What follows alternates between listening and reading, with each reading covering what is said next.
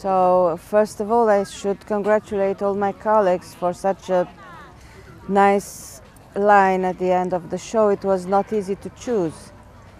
All high quality dogs and I'm happy that each day we had different dogs. So for the Supreme tomorrow it will be just wonderful. Of course you have to choose with your mind, with your heart.